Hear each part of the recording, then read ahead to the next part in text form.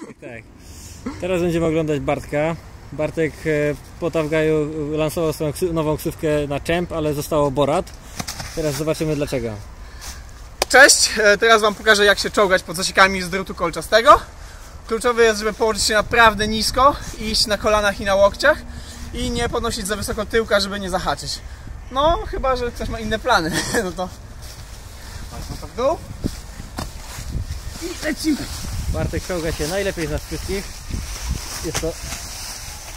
Poza tym jeszcze świetnie radzi sobie na przeszkodach wodnych. Dlatego ma ksywkę Robal.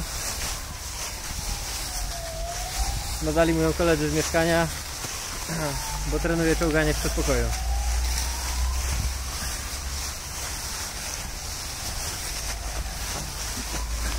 No i teraz popatrzcie na tę minę.